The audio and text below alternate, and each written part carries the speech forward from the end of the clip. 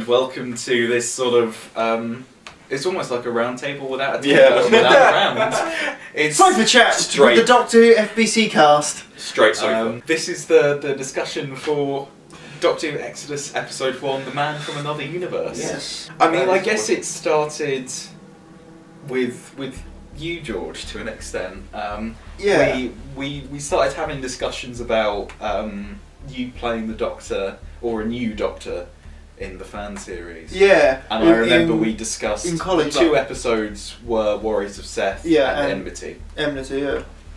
Before, yeah, we had at least. I, there were, I don't think initially there were plans for me to be in Legacy. that, was, that was the contract. No, Legacy was very. Um, I mean, we didn't know because there there was a version of Warriors of Seth I was trying to work out without um, Calibrax. Mm. Like Warriors of Seth changed so much trying to think of the ideas for it. Yeah. Because I mean, because we had no idea what we were doing at that point. So the tester, I remember, because you know we'd had all sorts of problems, and I think we weren't sure whether we wanted to come back to to sort of making films, let alone Doctor Who stuff. So Suspect was kind of our tester, Yeah. Mm. and I was very much aware that I kind of had to have you two in this film together, and if that worked, like if we could and all Marshall, work, yeah. then we could sort of keep going with Doctor We didn't Who. fight too much, so No. We kind of pissed ourselves mostly throughout that thing. We just, True. It was nice though, and it was a nice atmosphere, and, and obviously we had Owen as well, um, who's Owen. come into it since as well. Indeed. Um, but it was really nice, and that was very reassuring to me that Warriors of Seth would work. Um, and so it was nice to do that. But I knew that I wanted to do a solo adventure with George. Um, I mean, we'd always discussed doing a multi-doctor one, and that was kind of Yeah, but Seth yeah, but it, yeah, you, you plan to do that one. We never had plans to do like I never plans to do Legacy. We were talking No. other stuff. But yeah, but yeah, I mean, Legacy changed so much over the writing of it. yeah. Because like, 'cause Um, then I feel like I think I remember va- very vaguely we said, "Oh, would you be interested in doing it?" I think my part in it was definitely more reduced than what it was. You would have done a day, if that, based on the original script we had. yeah, in mind. basically, You would basically, essentially we sent it. I cameo literally it. basically, I'd be in there like, "Hi," and then go away and never and never come back. But Yeah. then after it took, as things changed, I got more and more involved in the legacy and became a bigger part of it. we upped your FBC contract Yeah, from yeah. two films to three to then you know just everything. Beyond that, yeah. Yeah, beyond that now. Now it's kind of like, how are you fancy doing, George? That's Yeah. actually what it's now. How long can we keep going? I mean, Enmity changed a lot. Um, Yes, it did. A lot of the basic ideas, like that first scene, remains pretty much unchanged. Yeah, throughout with, with, me just version. going out and kind of relaxing. Yeah, and the whole Yeah. you being pursued. Um, Yeah, if I remember, that's that kind Yeah. that didn't change. I mean, lot. Caleb was originally. I mean, originally it was just the Doctor and Caleb, and Caleb was. Caleb was a Time Lord, but it was I, I can't. There was this whole thing of Caleb was essentially the antagonist, and sort of by the end, he helped you. But then Clara showed up at the end. And I think that's when Yeah. I realised it wasn't really working as well. And it became essentially became a full episode because we made a short film, an award-winning short film, might I add, Arcadian. called Arcadian, which was um, you two and Jodie. Uh, and at one point, Owen was meant to be in it, and then he forgot to turn up. Yeah. That's basically the story. is, that is true. You kind of, I was like, oh, it's Right, But at that point, I knew that we kind of had to do one with Owen and Jodie, and I was like, it'd be cool if we could get Jodie into enmity. Enmity. However, she had one condition. She had to die at the end of it. No, maybe we did discuss it with I remem- I Arcadian because she's I the only remember character who doesn't die. Yeah, but I remember you saying, Maybe that was because it. that's why she because I don't know this, I want to die in the next one. I think that might have been it because I, I definitely knew when I was writing it that she wouldn't be doing anymore, and so she was always gonna die at the end. I mean, it took us a long time to get Enmity off the ground, but we, we did, and I think Eventually, it turned out yeah, really kind good. of, and then yeah, it's a good final product. And I think we were really happy with it, and we were definitely enthusiastic about making more. And I think we were sort of coming up with all sorts of ideas of where we could go next. One of the ideas being Cosmic Comrades Yes. by this guy. Uh, That's me, not this guy. Right. That guy. Me. Well, we were talking about like unit files continuations, uh, like literally unit files. But I, I don't know. We, could, could, we couldn't really come up with? I don't know. I mean, we had a lot of issues because I remember we finally were getting something off the ground. Yeah. We realised that we couldn't really tell the story that we wanted to. Yeah. Um, Which was and fun. that was when we kind of went back to Cosmic Comrades. I think it had already been written at that point. Yeah, so Cosmic Comrades was a script I wrote. I don't know why or when or where I was. Well, I was in my room, obviously, but but um, yeah, it was just a s- script uh, where Oliver and the Doctor meet. Um, there's Tidarian's in that. That's where he originated from. Mm. Mm. And he was like an agent of Claris. Claris was like vaguely referenced. Yeah, the I sort of think- boss character. Yes, yes, yes, yes. Because Yeah. I remember we discussed that, and that's kind of what led to Tidarian becoming a member of the Court of Morbius. Yeah, I'd forgotten about that actually. But um, yeah, so Tidarian was sort of like sort of a minion. He he kind of still is in uh, Mm. Exodus as well. Yeah, in, in the broad sense of the term, he's still uh, very much a case of he's not. The He's- main. Yeah, he's not in charge. He takes he takes orders and doesn't really give them. Yes. I, I'm blanking on what his plan was in the finish. It was something Well, to do with he knew Foster, so I assume he was yes, human. yes, yes. Um, yes, he was human, half human, half robot, basically. Yeah, but he had like an army. I think that was one of the things that we had an issue with Yeah, in terms of the practicality. We had Yeah. this big spaceship set piece, which we just couldn't do. Yeah, Um, yeah I, I think part of me was writing it was sort of a um, this might not get filmed, so what wacky thing can I? Yeah, I, yeah, was writing yeah, it if we could do literally anything. I mean, what's interesting really is the episode two, the Silver Devastation, coming soon or has come out. Depending on when this goes up. Essentially, that story was going to be the first episode, and it was going to open with Oliver being materialized on board the TARDIS. Yes, Very much Uh, a case yeah, of. Yeah, yeah. And it was going to be like a two-parter thing, Mhm. where part one would open with that scene from the Doctor's perspective, and then part two would have a cameo from Foster and would open from Oliver's perspective. Yeah. I don't remember how Oliver got there though. No, I don't know if we ever Is that I don't that- think we Is ever that why you changed that. it? So he, It might have been. I mean, there were a lot of issues with the direction the story took because that was going to be when we were going to have the Dalek. Mm. You remember the Dalek, Yes, I remember. Anyway, there was this prologue with the Daleks, which was completely detached from the story, so it didn't really need to be there. But then I tried to work it in that the Daleks were going to turn up at the end, which didn't make much sense, and it wasn't really practical. Right, if the BBC now the right, don't keep using it, they'll lose the rights. So we can have, we can own the rights to the Daleks. But the the main villain was going to be the cyber. It was going to be a Cyberman because we couldn't have more than one Cyberman logistically. Yes, now I remember. They said, George, can Yeah. you make a Cyberman costume? I was like, I could try. I would have needed. I'd needed. quite A, like to do the Mondasian Cyberman. I think we could do that with the cloth faces and I think we should do our own Cyberman design. yeah, maybe like a mix between them. I think an amalgam Cyberman could probably Mhm. work. So it's Cyberman he's probably damaged or impaired himself, so he looks cobbled together. Yeah, I think that'd be cool. Future story. Potential. Maybe that. essentially, that story didn't work. no, it did. Yeah. So and then it became what we know today. yeah, then it became the man from another universe. That essentially came about because I realised that we hadn't really done a proper down to earth story. Not and a that if we were going to reintroduce it all, especially with the unit files elements, we Yeah, needed it needs to be very Grounded into, you know. yeah. We need to it or, at least, or at least the first of it needs Yeah. to be earthbound and then chuck him into space. Yeah, it needs to be an Earthbound story, and then we lead into the space one. Yeah. Because we can't do historical stories. No. Unless someone's noticed that already. Yeah, we can't do that. We can't go to Victorian London. So sad. But yeah, I, I kind of wanted to do sort of lean more into the unit file stuff, and I wanted it to be more Oliver focused. Because I thought that would be better for an introductory episode, and then sort of as it goes on, the Doctor comes into it more. Yeah. Thanks for reading. First, time we see the Doctor in this. You see him very, very briefly, one Mm. for a quick second. Then he runs off. Yeah. Because most Doctor, Who- mo- most Doctor Who stories, they always chuck him in for the deep end, but I It's trying think to it's get- nice. it's trying to build the human element, basically. Yeah. Should Yeah. have put um, Oliver's face in the vortex. in the opening. that really confused people. There, it's like, It's a him. yeah. uh, who's this guy? Um, Should have done. du-du-du-du-du-du. We did discuss like how could we do like a Doctor Who Unit Files crossover sequence, but it just didn't really work because they're very Yeah. clashing styles. Yeah. Yeah, I learned that first bit on the piano because I was bored. it was interesting. Writing it, I mean, because we, I mean, there's so many rewrites.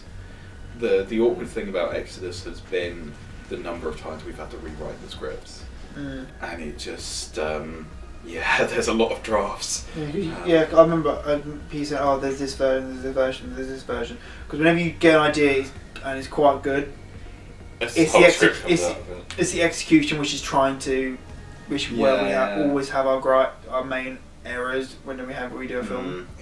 Yeah. I mean, it's just a number of people I mean, we even get. even when we, essentially. yeah, even when I think when we did, even when we did the short, some of our short stuff, I think when we did confinement, that went through a few rewrites, from what I remember. Or like some of the things on the day didn't actually end up working. Yeah, possibly. I mean, Arcadian, the script is very, very different to Arcadian. Yeah, there was a whole other character in that, wasn't there? That, oh, I mean, there was lots of stuff. Yeah. The, the way I envisioned it, writing it, I, I, I, I think, um, if you had a your way, you probably, you pro- I reckon if you had a your way, you would have I had it think it works though, because when we were there on the day, I was just, you know, we were filming it all. I was just thinking, we don't need any of this extra stuff. We Right. just need to make it like this. Yeah. And funnily enough, it turned out quite good. Yeah. So, so we had a lot of rewrites of the script and stuff, which was very, very, very difficult. I mean, there was a point where we just didn't have a proper complete script, like in terms of what we were actually going to be able to do. And I mean, there was so much sort of recasting. Can Mm. you do this? No. Okay, can you do this? No. Okay, can you do this? No. Um, but we did end up, we, we did end up getting it done. It's very close to what it was originally. Yeah. Yeah, I think the episode it was really stressful at one point because it was just like, Yeah. are we ever gonna get this Yeah, done? yeah, yeah, yeah. I think Um, we, we always get first, or my experience, we always say that at some point during when we're filming, or at least Mm. I very much I think that I think, oh god, we're gonna get this done. I mean, to be fair, episode two, sort of ignoring the the all sorts of shenanigans beforehand, Mm. we did get it done in two days. Only And I just, think it but sort of- we did. yeah. There was a little bit of stress on the second Oh, day. We're like, God. oh, oh god, okay, but we managed to get through it. Managed to get it done. I mean, filming. I don't know how obvious this is to people who don't make short films. It can be a real pain. Yeah, A real pain. cameras can die on you. Locations where one day we film fine, the next day. Actors, Especially- actors can die on you. Uh, Many people yeah. have died during our filmmaking. Oh, experiences. That's why Adam hasn't showed up for so long. No. Yeah, I mean, I, it's always difficult, sort of. I mean, because we got to find good stories, but we've also got to balance that with practicality, and I think it's it's difficult with what we have um, to really go above and beyond in the ways that I think sometimes we'd like to. Mm. Yeah, we, there's limits, I but feel- yeah. Yeah. yeah, because that's the thing with our shorts is that you know we normally do them to pace ourselves, say step away from Doctor Who, like confinement especially. Like, Confinement so- was definitely like a two two day shoot. No, it was one day. Oh, one day, yeah. Mm. Because we finished early. I remember we finished early. Oh yeah, we did finish early. finished really early.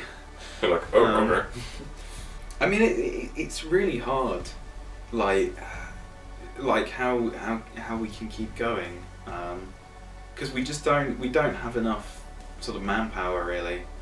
Um, we don't have we don't have studios like we can't just build sets, and I think I think we, I think if we could, we, it's I'd difficult. love that. Part, part of me enjoys that sort of, it, you know, it's so amateur what we do. Yeah, But it's one endearing, and two, it just makes try as hard as we can to work with Mm. what we have. And you know, Mm. I like that we can't really take shortcuts in that kind of. No, we're not like. Holly. We're not like some big studios which can have the evangelical shortcuts. We do Literally. whatever we can. Exactly, and I think you know it's so rewarding afterwards. Like even if Yeah, because we might look back as like, oh, that's a bit crap, but like, e- I mean, but even then, it's like you think about how much we put into that. It's like you know, you know, regardless of how it may have turned out, we still tried our best. It's commendable what we did, and mm, that's. I think it's. know. I think that's the case with any filmmaker. They always look back and yeah, their yeah, work. yeah, yeah, yeah. It's good, but now I can do better. yeah. Every, we we learn from everything, and you know that's what I love a lot about making our films. That you know, I, I love learning and trying new things and all that, and yeah. Yeah, no, You know I mean? it's it's nice. I mean, I I think it's a real group effort. Like none of us could do this on our own. No, definitely. And I've de- and I've made a short film on my own completely, and I can attest to it's so hard to get it to a decent quality. So it's fantastic being able to work with people like Pete. Pete's good. Pete's always good for camera and direction. JJ again. He helped. He contributes writing. I'm also here. and also he also is a good person to act with. Thanks, bud. Pete's alright act with him. I'm a terrible actor. That's not true. I'm all, I'm okay. Passable. You both do good. yeah, I mean, actually, while we're here, should probably say, you know, Tom, who does our some of our artwork, JJ does some of our artwork as well. We haven't mentioned that. You, you do some of our artwork, and I don't feel Yeah. like we, we always give you the. Credit you deserve. That's alright. But JJ helps It's all out that a lot with great, the it's alright. Again, again, JJ's Tom here. does the good ones, so you know that's why we shout it. Tom does some really great stuff, and Tom- he also Tom's voices ones are Claris. amazing. Yes, he, I mean, the the enmity one. I I, love mean, that. I, I loved. I mean, I don't know. I, I do love all of them, but the enmity one is my current favourite. Yeah. It just looks. Yeah, it looks great. just Has he done one for stunning. Exodus or, or Oh well, we have the one that you put up on um, the Instagram page. We have that one, yeah? and then we have the alternate one, which is a sort of a landscape version with you and George, which Right. is lovely. Oh, I think Yeah, and Tom's we're working on great. designs for Tom's very good. episodes one He's and two. yeah. Thank you, Tom. Thank you, Tom. Thank you, Tom. Thank you Thank for you, voicing Tom. Claris as well. We love Claris, don't? Yeah, I was listening to some of the new Claris dialogue. It's Is so it good. good? Oh, I, I okay. actually messaged him to be like, "This is so good." This is so good. It's it's um. You know, I reckon- Why is Tom the best actor among us? And he's not even. He's not basically. He's not even there. doesn't even turn up to set. What's that about? 'Cause he doesn't Tom, stop He's showing just us a up. diva. I just love the way Come on, man. he just has this. I I'm, I don't know what it is. Charisma. Maybe it's sort of gravitas or something. Like I need to hear these lines. I'm really excited. I think Claris is basically our best character. it is. We, second best. Thank you, Pete. yeah, Oliver's great, isn't Yeah. No, the doctor's great. Right, Claris is the best. We love Tom. Uh, George is great. Yeah. Uh, Daniel's great. JJ's great. Oh, well, thank you. I wasn't going to say that, but thank you. Pete's Pete's alright. great. oh no, I thought Pete was pretty fantastic. He's Oh, alright. thank It's alright. It's it's nice. Um, to be appreciated. it's nice stepping back from from playing the Doctor. Yeah, I, nice I imagine Yeah. from like your perspective, it's quite nice to be because now obviously you probably have had thoughts, but you didn't if you could implement them when you were acting. But now you're not acting, you can, you can kind of like shove some ideas. Like, what's my idea? That might work. Just kind of Mm. do what you can. It's it's nice to be able to create a Doctor with you. It feels more like we're creating proper Doctor Who. Yeah, 'cause it's like when I've had to direct myself, it's always a hard thing. It's like Mm. you don't know what to do. like, Yeah, because I get to write the Doctor with you in mind. Because I never knew what I wanted and he does do it with very well. Oh, thank you. I'm very sarcastic and quite a lot, yes. and a bit of an arse. Um, I mean, you, you come with your own costume and your own screwdriver, and that's really, you know, as a sad Doctor Who fan, that's really cool to see, and it's really nice to, to, to be able to make that. But that it's really nice having Oliver in there as kind of this everyman companion, and he's a nice contrast to Calibrax. Um, Yeah, definitely. That's what you know. Oliver was always my favourite character anyway. Because technically they're on two different extremes. Yeah. Is this alien foreigner who's gone through some tough times and kind of a bit more extreme, whereas Calibrax, in my opinion, is kind of more of the everyman. Well, they it's it's a case of they've both kind of gone through bad bit. Obviously, one's much worse than the other. But-. One's what? One was a world One destruction, his- but they kind of go at it at different ways, and Yeah. I love being the more kind of light-hearted, you know, yeah. take it on the chin. The human. Yeah, the human humour sort of sides, as opposed to the alien. Ah, I'm kind of I'm kind of pissed now. Where's my eye gone? oh, and it's nice having two eyes again. Yeah. I'm gonna take over the universe now. Yeah. I mean, it's just lovely to work on these. I, I think I love- it's yeah. stressful. Oh, it's yeah. really stressful. it's stressful, but It's the most stressful hobby you can possibly do. But it's also one of those things we're going to look back on. And it's just like, yeah, I love how we had character development for these characters we were working on for like how it's stressful, but it's so satisfying. Yeah, it's going to be so satisfying It's like- in the future. Yeah, I mean, watching that full episode today, I don't know what it's like for you guys. No, it's Oh great. no, I like it. I always look forward to seeing the actual finished production. I'm I always know- bugging you to like show me shit. I'm just like, come on, when's it coming out? I, I feel like I'm, I'm our biggest fan sometimes. I'm just like, I want to know. Foster's death is just like, oh man, I can't wait to like for people to see that. I just can't. I'm just so satisfied to see it all done, which is all. Yeah. Caleb like- as well. Caleb, yeah, Owen. That would be quite big, I think. So anyway, thank you for watching. Um, This Doctor thank Who. you for supporting us. Yes, Yeah. Thank. Please continue to support us. Share us with your friends. We need Uh, the we need the views. We are Patreon. desperate. Oh, we've got a Patreon. Make a Patreon for us and support us on Patreon. Support Doctor Who by watching the after show. and support us by watching our show. And which is better? I mean, that's no contest, really. Yeah, it's going to be us. We've got Tom Bowen, so, you know, obviously. we got the man of a. we, we got the man of the voice. We got we got Claris. we got Claris, so. And on that Claris bombshell, see you later. Au revoir. Bye. hey, can you just basically cut after I've said